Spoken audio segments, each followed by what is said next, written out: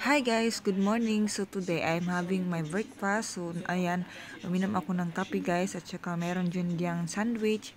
So I match the coffee with sandwich. That is my breakfast. Oh ayan 'di ba? Finapil ko pa yung coffee.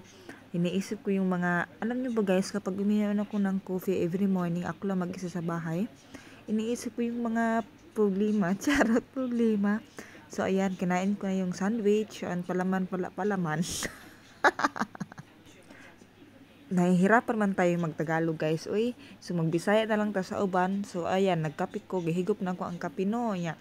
Pagkahuman di ana kasap-usap At pagkatapos ko nga magkape guys, ayan kinakausap ko si mother. So tumawag ako, sakto din nag-online yung kapatid ko. So sinabihan ko siya na tawagin si mother kasi makipag-uusap ako. Kasi nga may importante kaming bagay na kailangang i-discuss. Kung ano man yun guys, sa amin sa amin na lang yun. Charot! So ayan na nga, nag-usap kami ni mother, tapos na akong magkape dyan at si mother, sabihan, tinanong ko siya kung nagkape na ba, nagkape na daw siya. So yan, pasensya niya na yung Tagalog natin guys na nahihirapan tayo sa kalisod kasi hindi naman kasi tayo sanay mag Tagalog kay Bisaya man tayo masyado. So ayan. So kaya magtagalog tayo ngayon para ma-practice tayo sa pagtagalog. Pasensya na na guys ha. At dahil tapos na kami mag-usap ni mother, so naisipan kong lumabas at mag-exercise. So, before that, magtapon muna tayo ng basura. So, ayan yung mga tanim namin dyan. Nga guys, andito na tayo ngayon sa labas. So, naglakad lang ako guys. So, nakita na yung two-story na bus.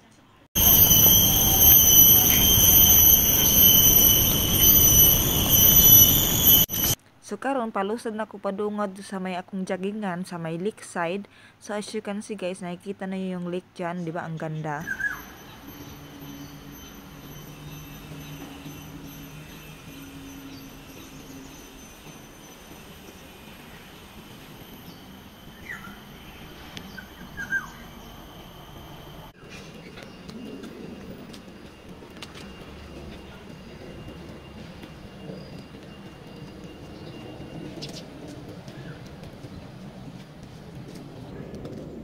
First time din na ako na mag-jogging na ako ra mag-inusara. Kay wa man ko ilan makauban kay akong uyab na man siya trabaho. Usually weekends na siya trabaho. So mo nang no choice ko, di nag-jogging ko ako lang mag Kay wa man po ko ilain makauban diri kay wa man ko mga friends.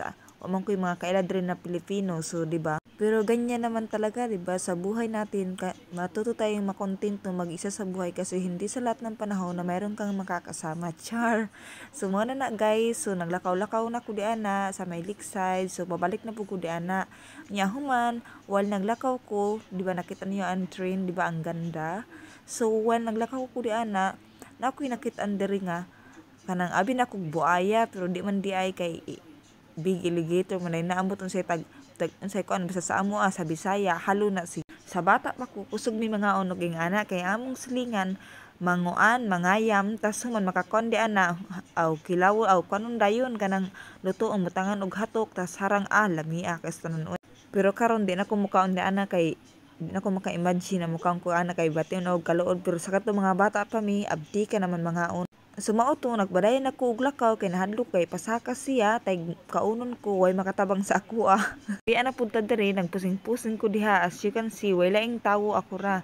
Unya nagimot-imot kunwari ko. So di aday exercise diri ah, guys ang nakaangayan din niya kay naay pwede ka maka free exercise. Ilan lang gituyo kay para sa mga citizen na kailangan na mag-stretch stretch sa ilang mga kaubukugan so na sila yung mga anak diri di ba? Nakanindot na Unya, nadaday usa diha ka tiguwang na mo exercise siguro na siya nya nakita mo sa ko yang hunaw na terorista may gnaong so din lang kumudayon niya muna to ning hawa na lang siya ya naglakaw ya ako po diha feeling kay nagpadayon gud gapon ko sa ang debate di ba nagoro exercise exercise kay kay aron lagi mo sexy di ba? Nya human di ana bike bike ko diha ah, nya paniguro na nako bike diha aron moturo na mga singot-singot diha na mga na-stack after pila na mga pila na ka weeks po na naista ko sa balay ako mga ugat murag nangu ko na. Sa mo nang nagkon ko for seg gig ko na magawas ko bahalag ako lang usa. Kay kailangan gud ako mag-exercise kay nang parang hupong naman ko sa sud sa balay na wa nay gawas-gawas di na mainitan. Anak kanindot diri sa ilahan no? Kay kanang na mga ingana na mga activities ba? O kung kugihan ka o musiksig ka o di ka maghinubya. Ang tag nga sa Pilipinas na po yung mga ingana dito sa park or kuan etc dito sa may mga suryanan. Kay para ang mga tiguwang pod ma-stretch ilang mga kabukugan. Kung gusto sila mo stretch pero pero sa mga probinsya, sa mga bukid-bukid, di na kailangan og ingana kay daghan karga na tag exercise kay di ba manano, mga to sa bukid. So mo na to guys, naglakaw na ko pabalik sa balay. While naglakaw ko, da ako nakita na duha ka langgam. Ndo to sa langgam diri guys, kadili sila mga ilaw, mga anad sila sa mga tawo. So after that, ang tao na lang may mahadlok sa langgam, charot. So off man day ato guys, so, nagliwan na pud ko kay mulakaw na pud ko. O di ba nahigam. So muna to nagbaktas ko padong sa shopping center nga dool lang diri sa ilang balay.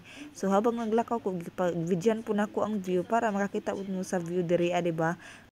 As you can see guys, mostly talaga dito sa Singapore, ang daming puno puro puno ng mga kapaligiran kaya nga tinawag dito green country. So yan guys, gusto ko talaga yung matry pero hindi ko pa nasubukan yung ganyan.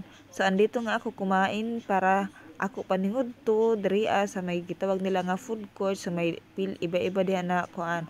Nya pagkahuman di ato ngari ko sa may bali shop mo na akong paborito nga shop guys bali shop kay namog barato ng mga baligya. Nya human dato ang akong gipalit kanan nagpait kong Pepsi tas naigamay nga chocolate. Tas naman to daan ako sa balay niabot ako sa balay. Unya karon di ay ka, dahil na po ni siya na adlaw kaubanin nako akong uyab dinhi ah. So na nangaon mi sa may hockey center. Nya human dato ni ngari day cotton on kay big sale sila so nagsukod-sukod ko diha so ang akong napili ang sikan na kanang black na pants kay kon siya nindot siya to so nga to nagbayad na mi unya oh you can see guys so karon nagbaktas mi pabalik na diri doon lang siya nga shopping center sa ila So, di ba, dagko kay ngisi. So, nagtanaw mi diri sa durian.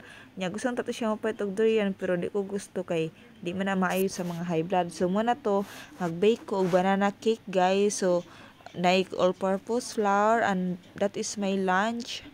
Cup noodles lang tayo kasi tinamad tayong magluto ng lunch natin ngayon. So, ayan.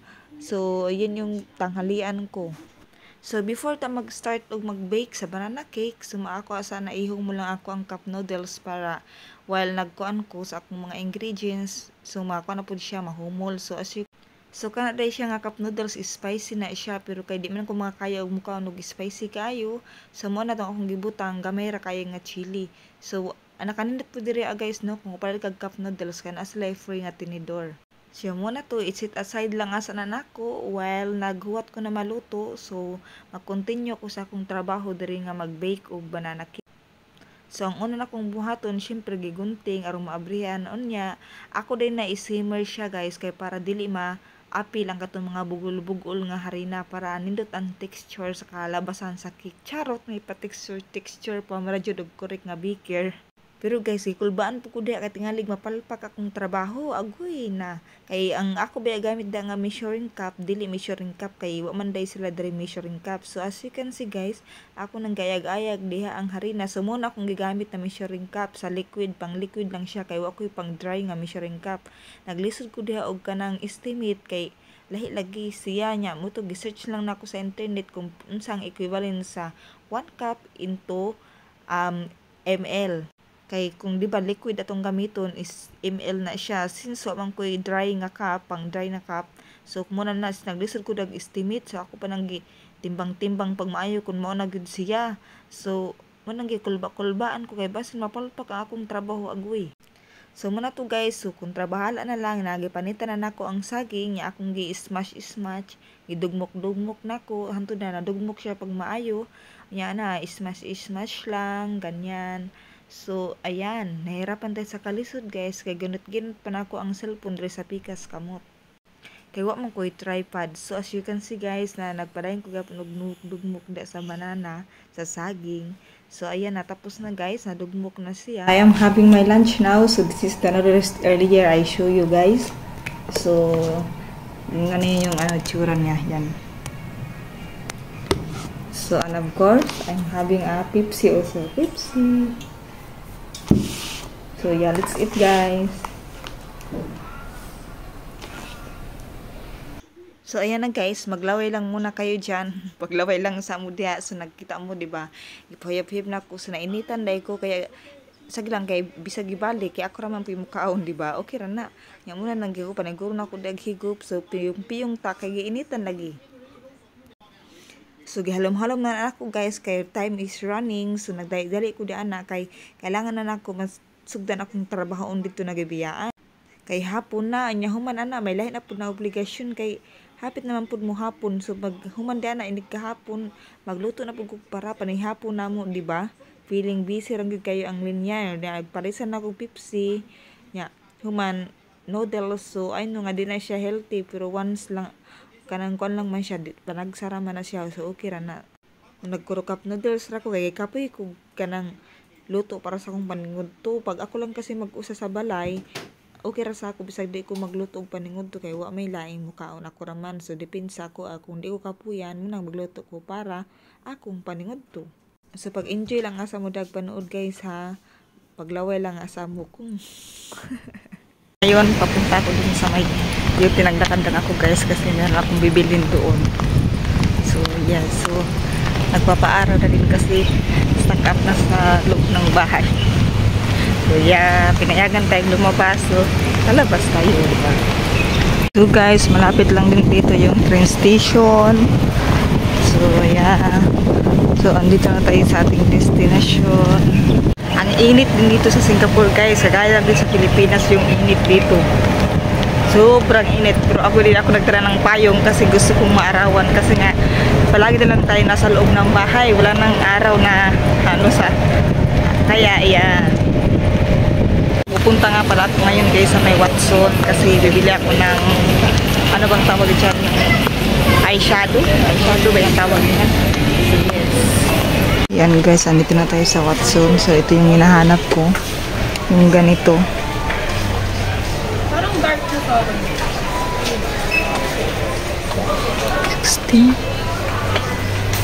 Ano? Ano bang bago sa So pauwi na ako ngayon guys. Alam niyo ba kaluka? Di pala uso dito yung plastic. Ayan, bit-bit ko yung binili ko doon sa may 7-Eleven. Kasi nga, di usin plastic dito. Kailangan magdala ka ng sarili mong plastic. Ngayon sa bahay guys, ito yung mga nabili ko doon. Itong dalawa sa 7-Eleven. This is cost for $4.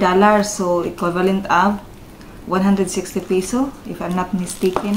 And this one is $11.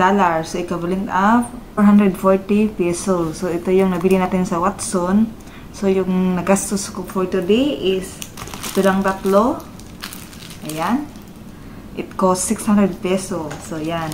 So, guys, hanggang dito na lang yung video natin. Thank you so much for watching. Bye-bye!